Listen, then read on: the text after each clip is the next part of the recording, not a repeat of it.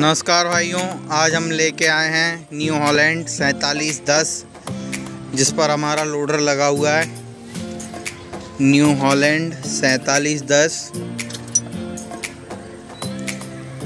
और ये हमारा लोडर लगा हुआ है। इस लोडर की हाइट 11 फीट है।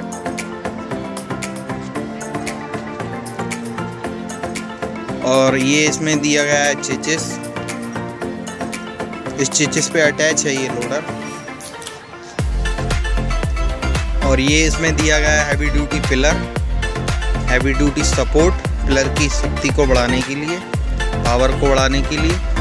और ये लगाया गया है इसमें दो लीवर का कंट्रोल वॉल बेल वॉल का है ये।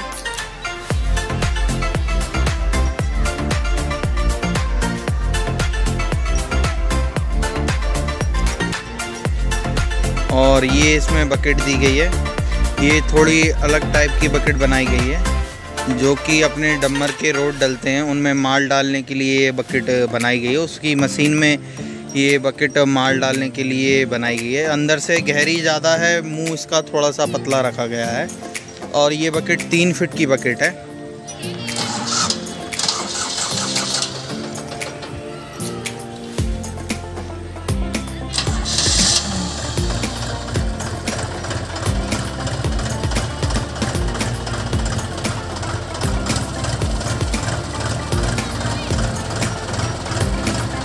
इसका हाइड्रोलिक पंप भी फास्ट है।